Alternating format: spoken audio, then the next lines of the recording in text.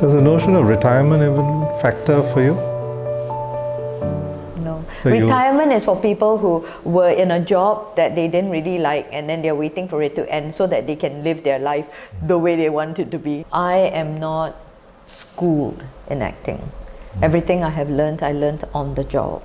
I cannot really explain how I do what I do, but I know when it feels right.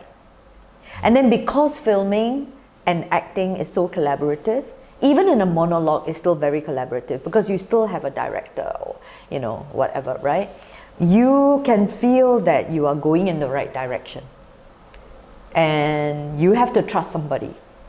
And I cannot really explain to you step by step what is my acting process. But it has gotten me here. Acting does allow my heart and my brain and my spirit to go to places that I may not in real life um, actually go. And I am deeply curious as to the width and height and breadth of my heart, right? And, it, and that's one of the reasons or maybe a main reason why I enjoy acting so much. I would love to be in a limited series in a role that I am deeply interested in and invested in, which doesn't mean big role, it just means, you know, uh, deeply interested in and compelled towards, um, and, and a premium television project with, with excellent production qualities and a really great cast. And why premium television is because I enjoy the longer process of working with the same bunch of people to tell a story that goes on for a while. That's what I love about television. The commitment is longer, right? You know, eight episodes, one hour, you know, you're playing the same character and you know, and you have eight episodes to fully flesh out that character. I would love to produce and be a part of the creative team behind premium television in Singapore, telling Singapore stories in a style and with the type of detail that I would like to see and experience. Michelle Yeoh, right? Yes. The success she's enjoyed now. Yes. Um, what are your thoughts on that, and what do you think that'll do for Asian talent um, in a global environment? I know that Michelle Yeoh winning this award, there is a very positive, contagious feeling of that will only help the industry because she's great. She's a great person.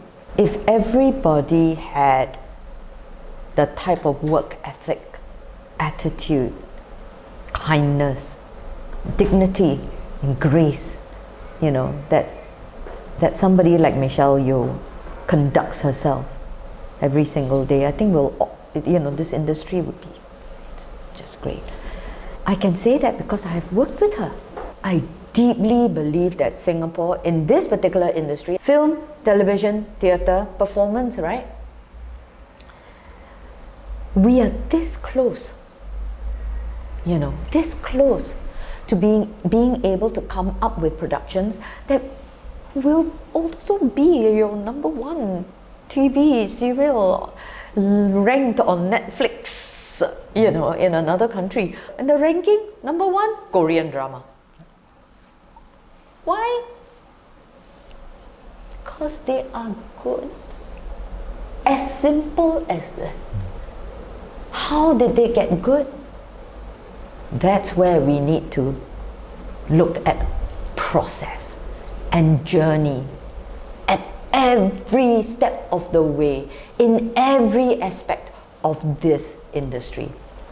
Michelle Yeoh, who hailed from Malaysia, now has an Academy Award.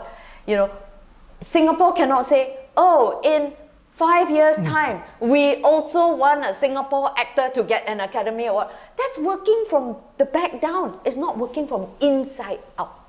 You cannot work like that. I am a person with a DNA that always feels like she needs to be worthwhile, worth your time, worth your time as a fellow worker, as a fellow artist, as a parent, as a sister, as a daughter, as a friend. I always feel like I need, you know, as a lover, I always feel like I need to be worth your time and worth my time. When it comes to projects, somebody says, Hey Kheng, do you want to do this? Are you interested in this? I read the script. I always like, it's always yes. And then once I say yes, I'll do it. And, and I do believe in honoring your first decision because I feel that karma, especially for, you know, for um, self-employed freelance people, you know, your reputation, you know, when you say yes to something. I mean, even though a better project comes along, you have to bite the bullet and say no if you have said yes. Because your karma will screw you up. Huh? At some point in your life, you know, I really believe in this, you know. I have this ability to really enjoy what I am doing. I still have it today. It's a wonderful thing to have, especially as you're getting older. Mm. Because it makes your day worthwhile. More and more, I am deeply committed to the belief that you need to be smart in curating the people you invite to collaborate with you professionally and personally. And it becomes even more important as you get older. Why? You got less years to live. You have less time. When you have less time, you must pick and choose the right people to spend your time with. You must be worth their time, they must be worth your time. No time for nonsense and rubbish unless it is the type of nonsense and rubbish that you that you like.